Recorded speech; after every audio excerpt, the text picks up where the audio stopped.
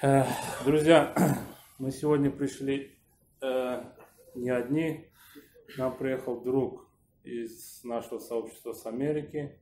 Он при- пришел с нами поделиться своим опытом выздоровления, опытом тем, как он на сегодняшний день э, живет трезвым.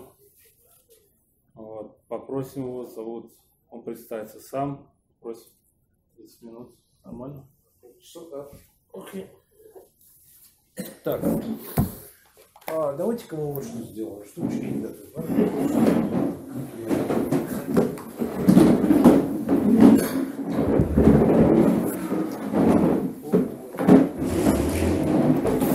Все как мы любим.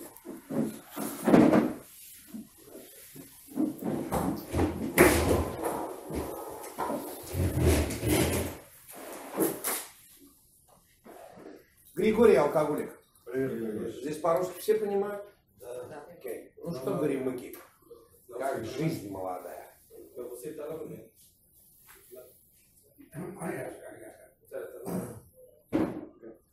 Ну, Он не оста- понимает, он а, сегодня пришел, так что... ну хорошо, но все остальные понимают. Я правильно?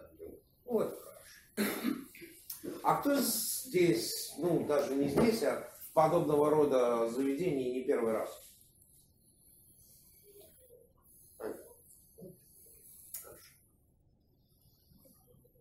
Ну и как оно для вас сработало?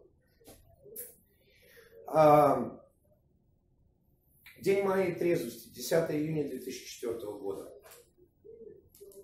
Если бы 9 июня 2004 года я знал, что 10 июня 2004 года будет днем моей трезвости, я бы, бля, выпил в два раза больше. Я не знал. Я впервые вошел в комнаты анонимных алкоголиков в раннем январе 2000 года в городе Индианаполисе, штат Индиана. Это город с одними из самых старых эйрских традиций. Но не протрезвел я до 10 июня 2004 года.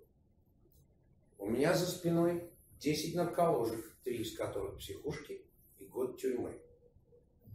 Я, уже придя в анонимные алкоголики, еще четыре с половиной года, пытаясь отработать эту схему своим путем, в конечном итоге остался безработным, бездомным, я жил в разбитой машине. Я подбирал хабарики, я не мылся неделями, я не ел ни, буквально, ну, там, я не знаю, полтарелки супа раз в неделю. Остальное время я пил. Это то, чем занимался я. У меня богатый опыт с наркотиками, но я не наркоман. Я катился к своей теме очень долгое время. В течение многих лет алкоголь делал свою работу и делал ее очень хорошо. Я пил много лет без последствий. Но это больше не имеет никакого значения. И для... Знаете, у меня заняло долгое время понять то, что я вам вот сейчас скажу. Кстати, это демонстрирует, что перед вами стоит не самый умный парень в деревне. Я не знаю, в курсе вы или нет, но нормальные люди сюда не попадают. Это я вас просто информирую в том случае, если, может быть, у вас есть какие-то другие измышления по этому поводу. Нормальные люди никогда не оказываются в подобного рода заведениях. Если вы попали сюда, у вас проблема, я вам даже круче скажу. Хрен ты с ним, что проблема. У вас проблема, которую вы сами порешать не можете. О, какая тема. А теперь позвольте мне объяснить вам почему. И я это знаю на личном опыте.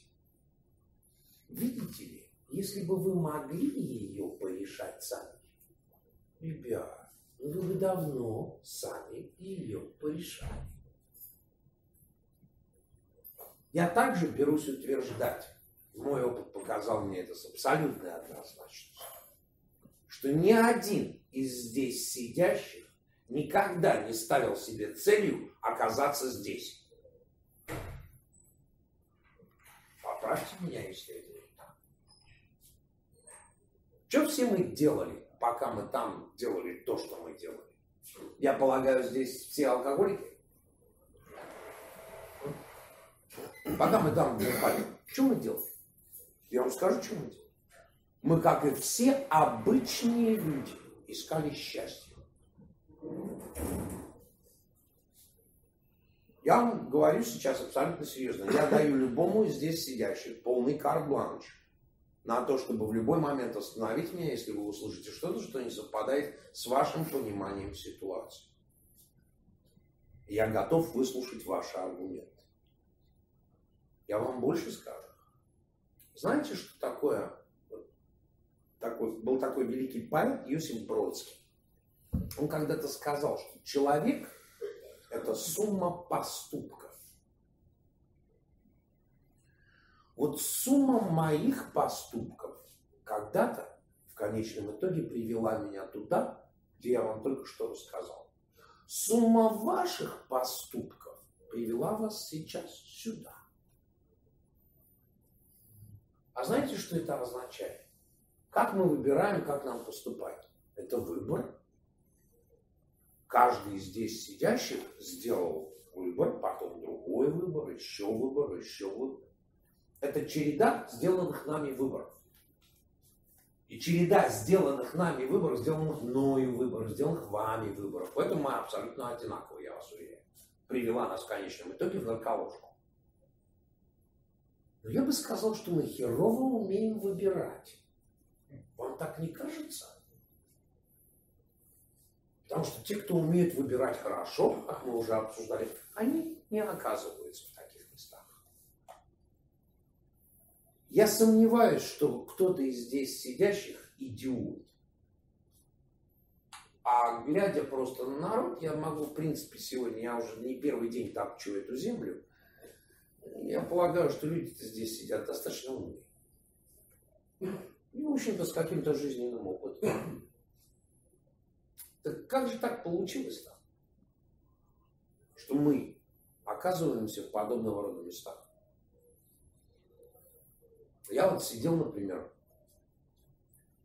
я привык, я привык к закрытым дверям, я привык, у меня, у меня иное количество приводов в полицию, я привык ко всем, ко всем этим вещам. Я привык. Но я помню, когда я сидел на собрании анонимных алкоголиков, я сижу, во я докатился. То, что у меня нарколожки за спиной, то, что я бездомный, это нормально. А оказавшись в сообществе анонимных алкоголиков, я думаю, я докатился. Это показывает вам, что так, как мыслю я, у меня все исковеркано. И я сегодня, уже не первый год, работаю с большим количеством нашего брата. Я могу вам с абсолютной точностью сказать, мы в этом плане все одинаковые. Все до единого. Все как под копирку. Потому что у нас одно и то же заболевание. И заболевание это начинается с того, что с медицинской точки зрения у каждого из здесь сидящих нездоровые отношения с алкоголем. Это не злоупотребление алкоголя. Я не про это. Злоупотребляют алкоголем очень многие. Я про другое.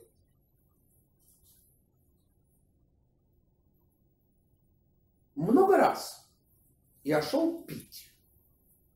И ставил себе цель, ну я выпью сегодня пару-тройку и все. Или там встречаемся с приятелем, да, взяли пузырь. Ну все, вот сейчас пойдем пузырик раздавим на двоих, что там, нормально, да, посидим. Иногда мне это удавалось. Иногда. В большинстве же случаев происходила очень интересная вещь. Мы начинаем пить. Вдруг спустя какое-то время, там, рюмки на третий, может, четвертый, а может, даже пятый. Я вдруг меняю свое мнение. Вот этого пузыря его точно не хватит. Я уже знаю. Я-то думал, что это я поменял свое. Мне пришлось прийти в анонимные алкоголики. и ознакомиться с нашей программой выздоровления. Для того, чтобы узнать, что я уже к этому времени не имел никакого слова в этой теме.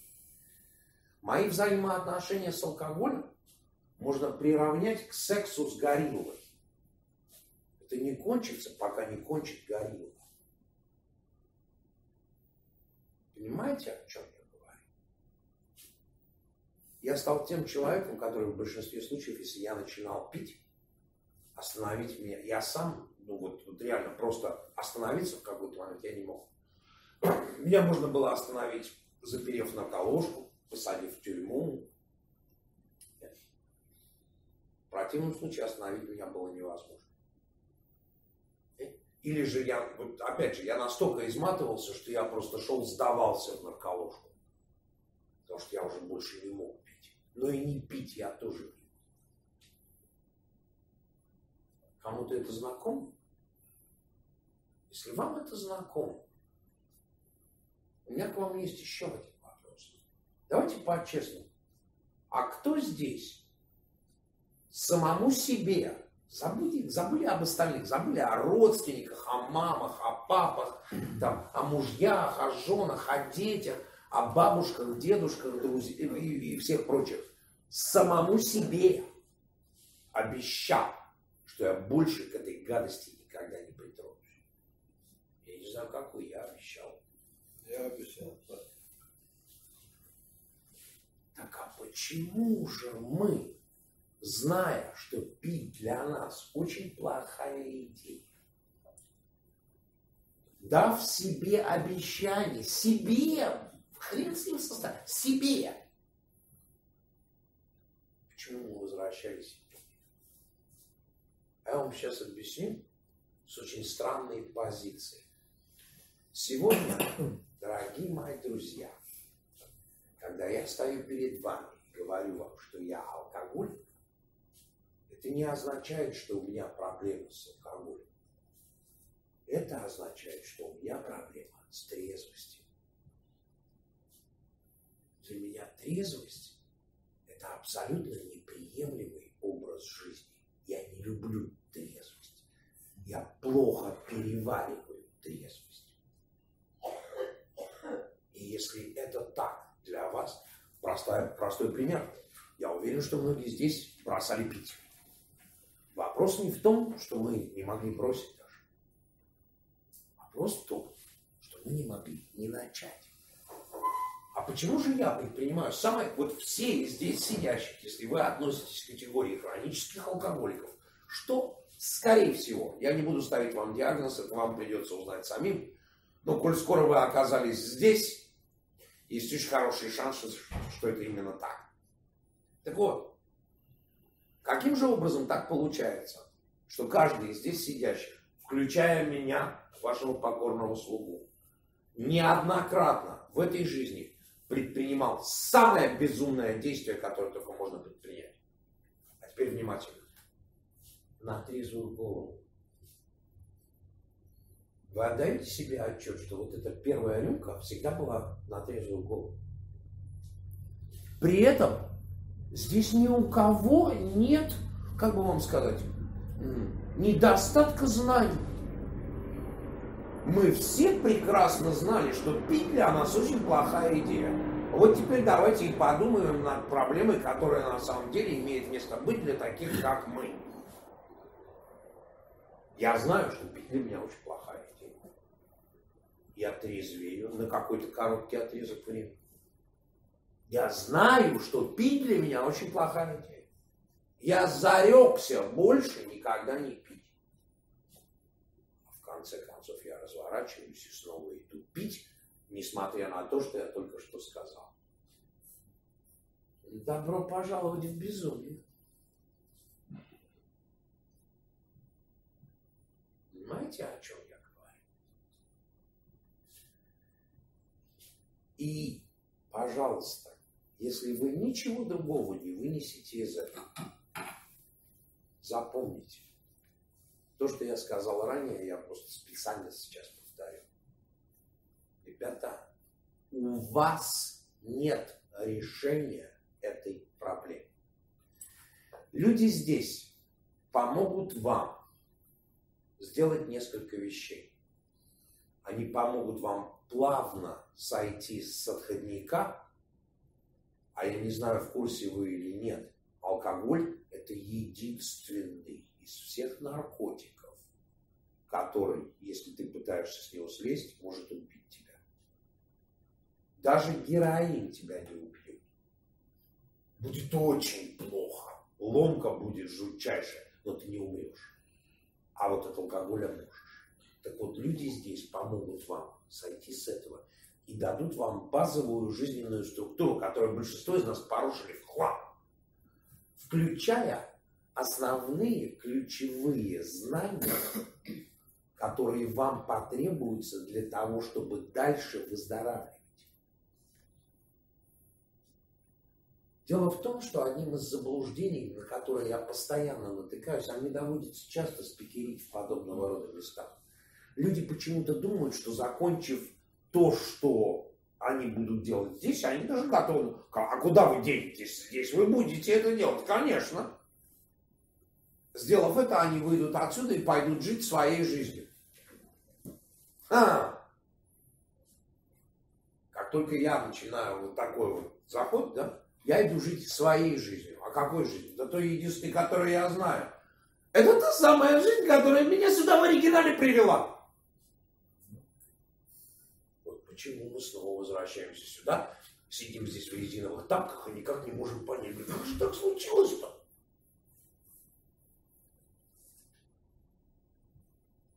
У вас нет решения.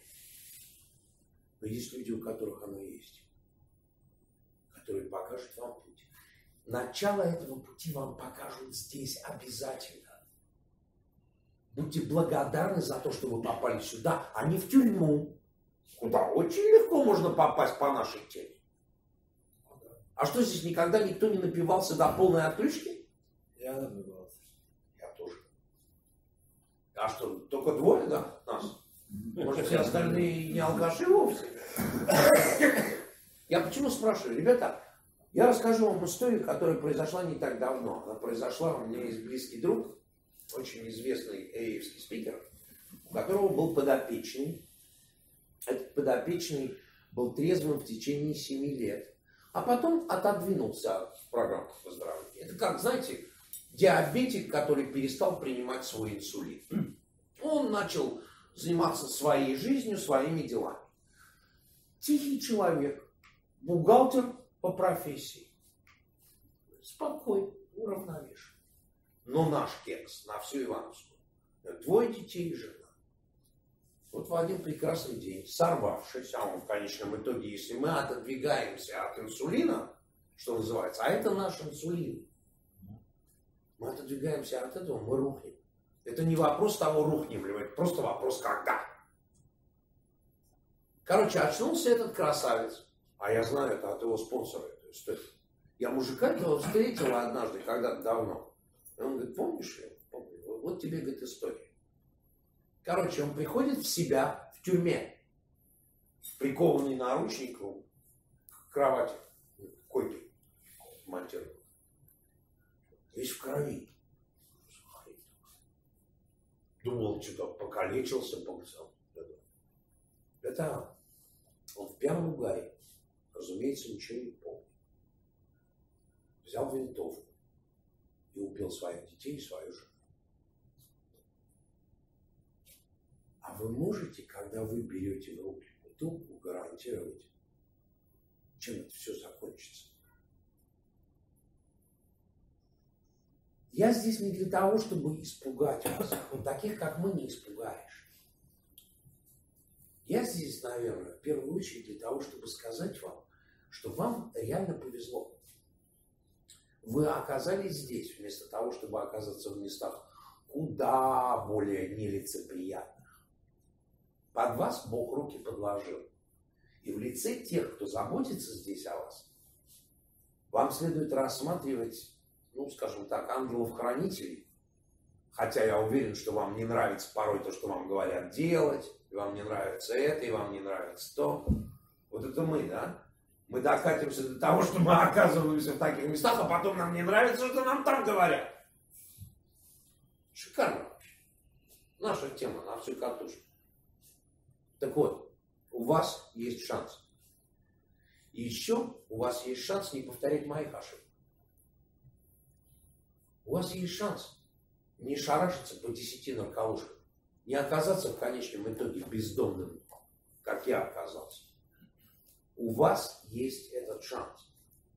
Я это знаю, потому что когда я в конце концов уцепился за эту тему, без всяких надежд, я не, я не поверю ни одному из сидящих здесь, если вы заявите мне, что вы верите в то, что это сработает. Я не поверю вам. Я верю. А я не поверю в тебя. А я тебе скажу почему. Если ты это никогда не предпринимал, ты не можешь в это верить. Ты можешь надеяться, а верить в это ты не можешь. И условия не предпринимал. С другой стороны, если ты предпринимал уже, то что же в конечном итоге снова посадило тебя сюда? То, о чем говорил 10 минут назад. То есть ты перестал принимать инсулин. Правильно? А это значит, что ты разуверовался. Ты решил, что ты сможешь теперь сам. Это наша вещь. Самая большая ложь, которую такие, как мы, намазываем сами себе. Теперь я сам. Потому что теперь же я все знаю. Я знаю, как поступать правильно. Не работает так, ребят. Но я также, а вот это, я думаю, ты можешь даже поделиться с ребятами, если тебе довелось побывать в этой теме. Это лучшее, что есть. Это не просто лучшее, что есть.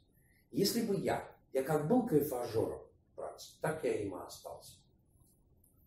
Но сегодня я нашел кайф, абсолютно другой кайф, и в абсолютно другом.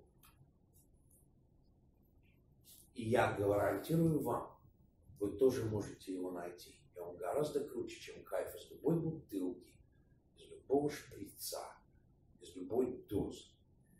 И он на трезвую голову. А самое-то прикольное, что этот кайф может быть полезен другим людям. Каждый из здесь сидящих, услышьте это сейчас и вдумайтесь в это, может спасти чью-то жизнь. Это вам не шубу в трусы заправлять и не мелочь по карманам тырить. Вы неспроста сидите здесь. У Бога для каждого из вас есть план. А вот решите вы воспользоваться этой возможностью или нет, ну, ребята, это уже не от нас зависит. Лучшее, что вот эти люди могут сделать для вас, лучшее, что мы можем сделать для вас сообщество, мы вам можем лишь показать путь. Я же не могу по этому пути пойти за вас. Я могу лишь показать вам. Но я уверяю вас, что это лучшее, что может произойти с такими, как вы. Что у нас по времени? Нормально? Еще, да, еще 10 Сколько? минут. О, смотрите, еще 10 минут. Я не верил в эту штуку. Я полагаю, что 4, в четвертом, ну, четвертом году, 9 июня, я пришел к тому, что можно, наверное, назвать моим дном. Здесь хотелось бы мне объяснить одну вещь. А, Имея за спиной уже 13 лет хорошего выздоровления, я могу с уверенностью сказать следующее. У всех у нас дно одинаковое. Обстоятельства дна у нас могут быть разными, а дно у всех у нас одинаковое. Объясняю. У кого-то это может настать на заднем сидении Бентли, а у кого-то это может настать в Канаре.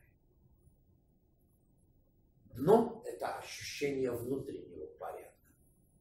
Это когда я вдруг осознаю, что все мои планы на эту жизнь, все мои идеи на эту жизнь, да и сам я, какой-то левый товар.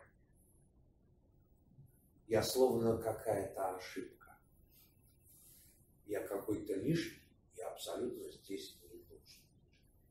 Это тот момент, когда я полностью разочаровываюсь в себе, Ибо я последний, кто разочаруется в себе. Вы все разочаруетесь во мне сто раз. Родители разочаруются. Жена, дети, все разочаруются. А я еще не буду разочарован. Так вот, тот момент, когда я полностью разочаруюсь в себе. А с этого момента я готов делать все, что угодно. Идти куда угодно. И вести себя, как вы скажете. Лишь бы больше не быть собой. Вот что. И вот именно тогда я начну слушать то, что вы предлагаете. Ребят, ну я впервые вошел в комнаты анонимных алкоголиков в раннем январе 2000 года. Люди, хоть немножко знакомые с программой, например, ты, ты же понимаешь, весть не изменилась за четыре с половиной года. Мне ничего нового через четыре с половиной года не сказали. Она какой была вот с 35 года, такое осталось. Я явно был не готов слушать. Вопрос, почему я был не готов слушать? Ответ очень простой. Да потому что у меня были мои планы. Мои. Так вот я вам настоятельно рекомендую. Ваши планы? Где тут мусорник? Вот туда, а? Вот туда. Потому что именно ваши лучшие планы и ваши лучшие мысли. Вы лучше послушайте, что вам предложат здесь, как планы. Они не будут звучать как что-то, что вы хотите, я уверяю вас, они гораздо лучше любого из планов, которые есть у вас. Приходите в сообщество, послушайте, что эти люди говорят. Мы все были там, где сейчас сидите вы. Я прекрасно знаю, как вы себя чувствуете. Нам тоже приходили, нам тоже рассказывали. Я тоже сидел, кивал кабине, да. И все это хорошо знакомо. Ну реально, ребят, сколько боли вы хотите хапануть и сколько еще потерь вам нужно для того, чтобы понять, что ваша схема работать не будет. Я не знаю, сколько вам нужно. Но хотите верьте, хотите нет, вся прелесть того, что перед вами сейчас, то, что кладут перед вами вот здесь, то, что мы пытаемся объяснить вам, что вы можете дальше вниз не катиться. У вас сегодня этот выбор есть. А вот выберете вы это или нет, это уже не мне решать. Мы по- подошли уже? Да? Да, еще Да. Ну и закончить все это я бы, наверное, хотел только одной вещи. Это фраза от человека, который очень много говорил и писал о теме духовного пробуждения. А вот той самой теме, которая спасает таких, как мы.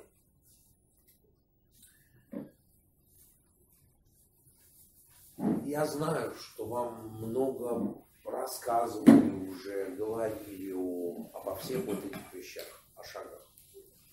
Работа по шагам есть вещь абсолютно необходимая для выздоровления. Но сами по себе все эти знания, они не больше, вот все это, не более чем перст указывающий. Поэтому суммарно так. Все, что делал я, я сидел возле реки и раздавал воду из нее проходящим мимо людям. Когда меня не будет, я бы очень хотел, чтобы люди обратили внимание на реку. Спасибо, что послушали.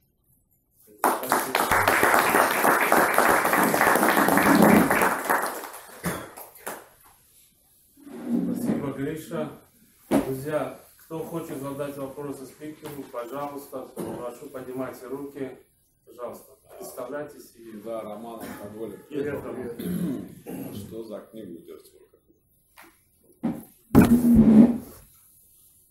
Это та самая книга, в которой есть ответы на все мои вопросы. Нет. Название понятно?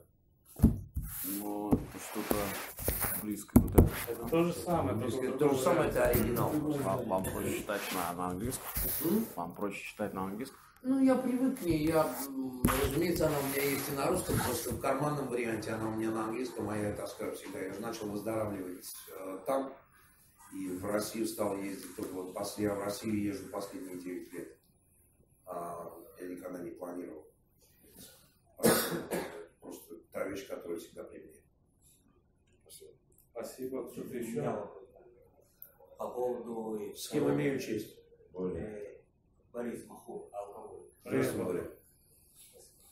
По поводу второго и третьего пункта. Вот, э, более могущественная сила, да, и Бог. Что это для вас? Как? Я насколько понял, да, тут написано, да, Бог, как вы его понимаете. То есть, как вы его понимаете, я к вам да, более могущественная сила. То есть, в чем вы это нашли? Давай-ка я тебе так так скажу. Как я его понимаю, тебе не поможет ни разу. Мое понимание его продолжает меняться, пока я двигаюсь по этой дорожке. Но важно здесь следующее. Вот эта тема сила более могущественная, она для особо замороченно сомневающихся, которые очень многие из нас являются. Очень. Мы любим поморочиться с этим. Я тебе скажу, какая схема. Смотри. Мы привыкли к тому, что круче нас, ну нет, ну реально. Мы сами себе короли. Так мы жили свою жизнь. Окей? К тому моменту, как ты попал сюда, было ли что-то, что сильнее тебя? Ответ есть очень простой. Да. Алкоголь. Что? Алкоголь. Алкоголь был сильнее тебя. Коль скоро мы уже знаем, что есть сила более могущественная, чем ты, и это алкоголь, теперь давай называть вещи своими именами. Теперь нам жопа, потому что если это все, что есть, я погиб. Единственное, что требуется, можешь ли ты хотя бы предположить, что есть сила более могущественная, чем алкоголь? Все. И это все, что тебе надо для разгона. Вот это настолько просто. А понимание будет меняться. То есть суть вот этого, как мы его понимали, это не значит, что ты должен сидеть и понять Бога. Мне когда-то один старичок сказал, если бы ты мог понять своего Бога, он был бы слишком мал, чтобы разрулить твои проблемы. Тебе не надо его понимать, тебе лишь нужно взять за концепцию, какой бы базовой она ни была, что есть сила более могущественная. И это все. Если ты готов хотя бы предположить, что такая есть, поехали дальше. Нечего там сидеть. Вот так. Спасибо. Еще кто-то? Я Макура, алкоголь. Привет. И я когда-то думала, что я могу разрулить все сама, сама бросить. Я была бы так ушла, потому что я не поверила. В данный момент я пришла на группу из-за своего желания, то что, то, что я говорю себе, ладно, я не пью, не пью месяц, чай, мне, все равно в какой-то момент до сих пор я сижу, я не могу сказать, а я не хочу. Но я с желанием, что понять это, что я больше не хочу, я боюсь вернуться к этому. И вот это то, что я пытаюсь с этим справиться сама. Сама справиться с тем, что не надо говорить я-я-я. Что есть еще, может быть, где-то я ошибаюсь. Да, нужна изра, надо слушать других людей.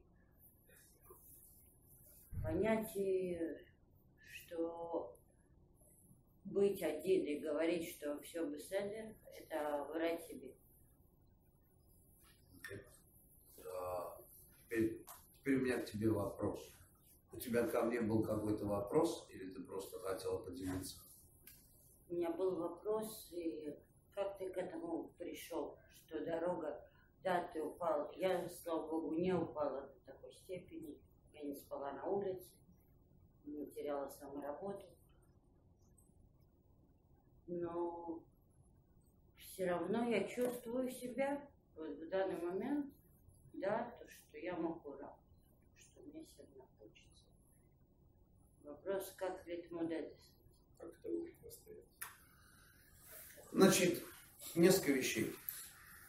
Я настоятельно рекомендую, ты можешь этим не воспользоваться.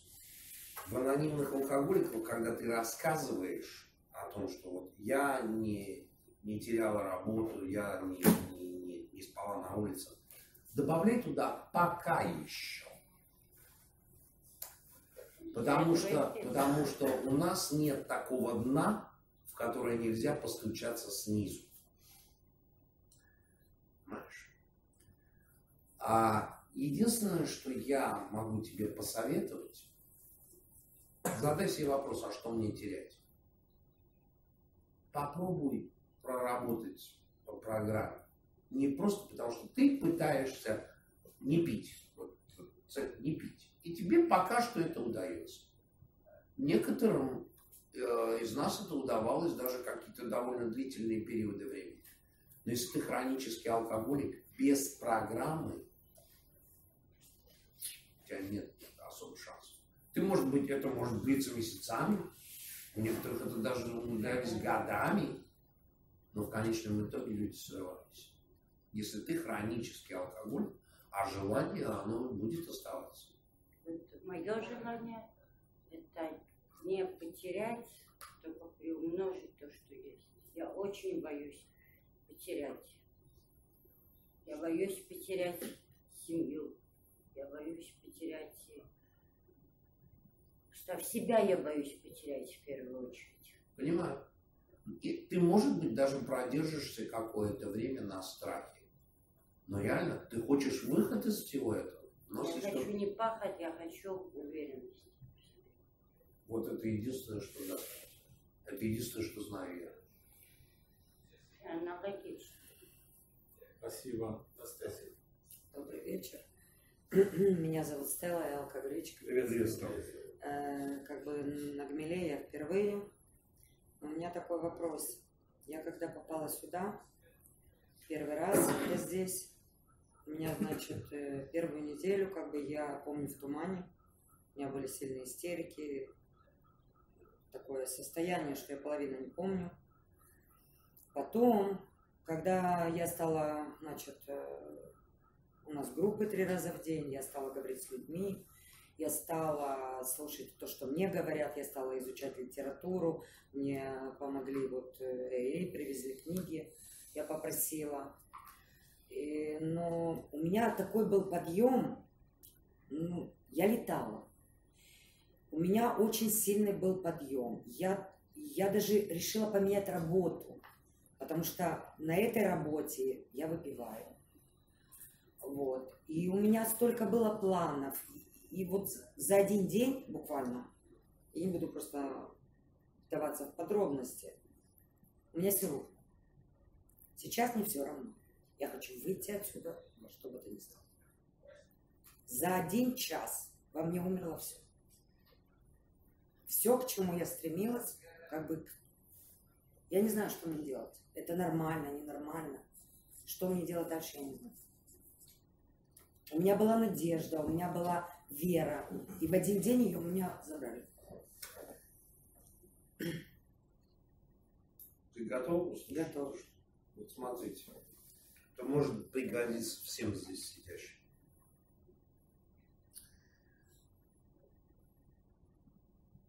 Ты вообще знаешь о чем? Да. О чем? Э, Выздоровление 12 шагов.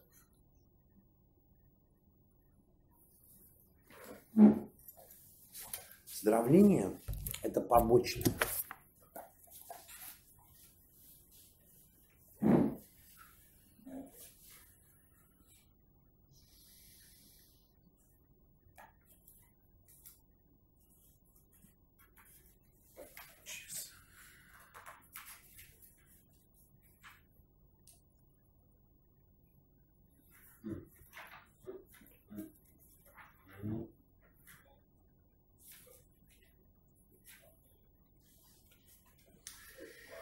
Наша дилемма заключалась в недостатке силы.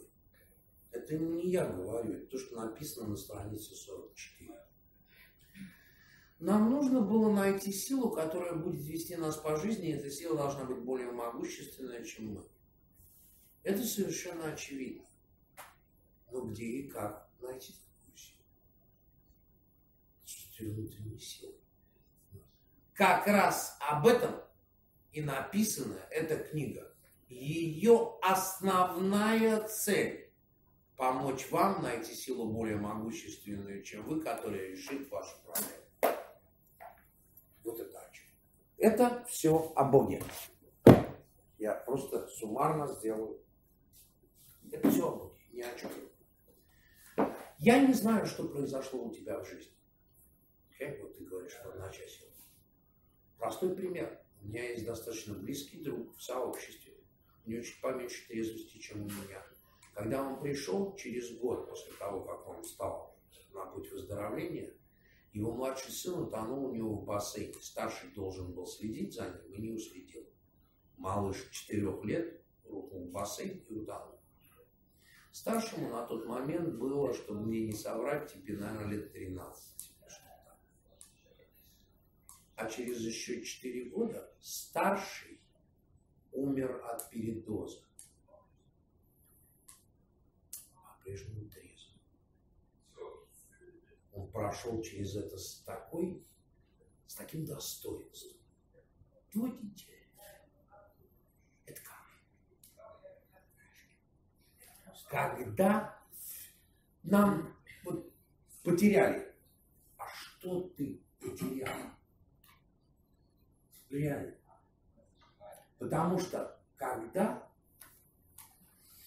мы приходим к пониманию, что единственное, что у меня есть на самом деле, это Бог. А все остальное это все время. В жизни будут случаться очень страшные вещи, порой случаются с хорошими людьми. Никто и нигде и никогда не гарантирует что отныне жизнь будет беззаботной, прекрасной и радостной. Но если ты обретешь Бога, а последствием этих шагов происходит именно это, то есть это все, ты сможешь пройти через все эти испытания. Они не будут радостными, никто не говорит тебе. Но ты сможешь пройти с достоинством. Прошу прощения. Вероника алкоголик. Привет. У меня к вам вопрос. На тот момент, когда вы пили, вы верили в Бога? А, у меня была очень странная тема. Я уехал из России в 1979 году. Конечно, тогда Советский Союз. Молодым пацаном. И где-то по пути, будучи такого, знаешь, как бы это, я против, всегда против всего восставал. Да? А, не желая соглашаться с советской доктриной, я для себя заявил, что Бог есть. Но мой образ Бога, я даже не могу тебе сказать, откуда это взялось. Что Бог где-то, он вот там, он где-то там, да? Он, он там, а я вот здесь, да? И он, он, у него там свои дела, а у меня тут свои дела. То есть сказать, что я в него верю, я мог. И я так говорил. Но тому, как это на самом деле имеет место быть. Ну, а был такой момент, что вы его потеряли? Я его никогда не имел. Ну, то есть, понятно. Я никогда к нему не шел. Ребят, сколько раз все здесь сидящие в тот или иной момент, особенно когда было очень-очень плохо, начинали, ну, реально говоря, молиться, да? Сколько раз? Сколько раз каждый из здесь сидящих, включая меня, просили Бога сделать что-то для нас. Теперь у меня такой вопрос. А сколько раз и кто поинтересовался у Бога, чего он хочет от нас? А? Вот такая вот тема. Спасибо. Кто-то еще?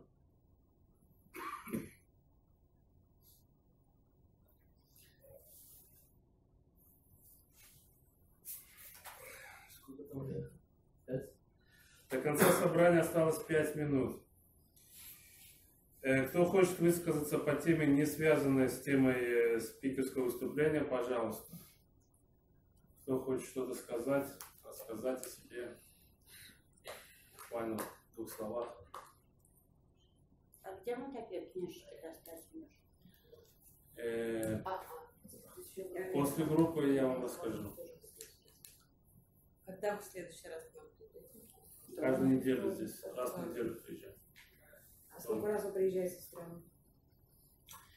Я уже 9 лет езжу в Израиль, я какой третий раз. Очень люблю вашу страну. В конце концов, сам евреец, красноармеец. так что учился. Ам, Я бы хотел как можно чаще, но большая часть времени мне приходится проводить в России, потому что зовут меня туда. И я уже оттуда вот так получилось, что мы смогли структурировать мое расписание. Я смог приехать сюда и э, спикерить, поработать. с Это в народом. Москве? В Москве?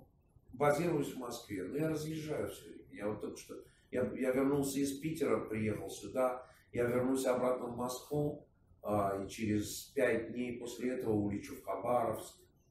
Я мотаюсь. А можно где-то почитать ваши... Ваши- спикерские есть, да, ребята. Григорий, да, на, на, Ютубе, где угодно. У меня, очень меня мало. очень много выложено. Спикерский Григорий Т. Григорий Т. Григорий, ты на русском? Все на русском. Все. Анонимные алкоголики, лучший спикер. Неважно, спикер, спикерский Григорий Т. Просто за душу зацепил очень.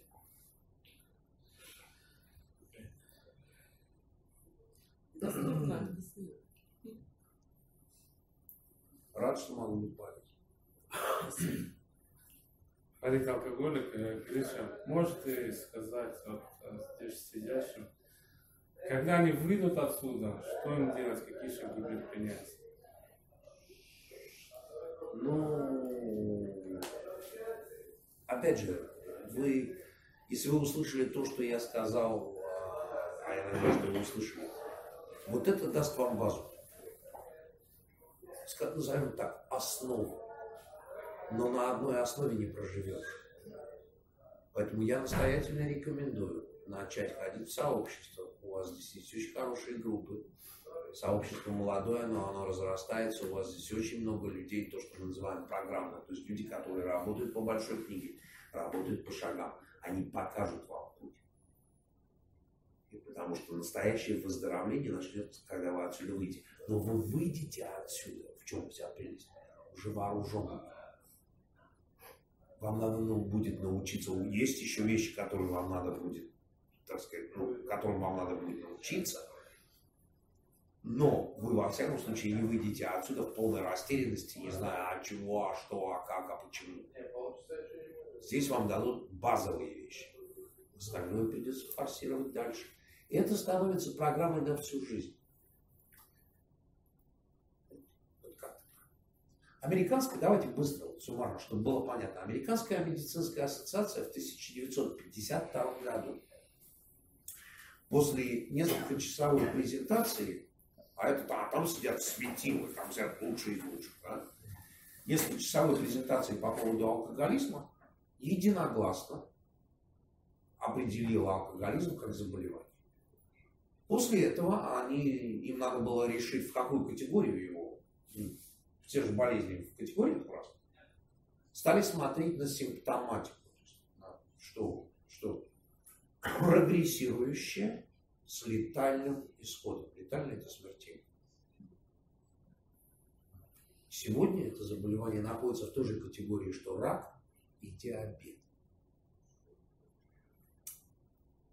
Поэтому если я неспроста привел диабет как пример, диабетик вынужден следовать определенным правилам в жизни. Он должен колоть свой инсулин, правильно? Следить за диетой. То есть вот эти вещи, которые, если он не хочет грохнуться, он будет обязан делать до конца дней своих. У нас несколько проще, нам колоть ничего не надо. У нас вот это есть. Спасибо, друзья. Давайте еще раз по- поблагодарим Григория за его опыт. Наше собрание подошло к концу. Спасибо, что предоставили мне возможность провести эту встречу. Если я кого-то обидел, прошу вас прощения. Хочу напомнить вам, что мнения, высказанные на встрече, это личное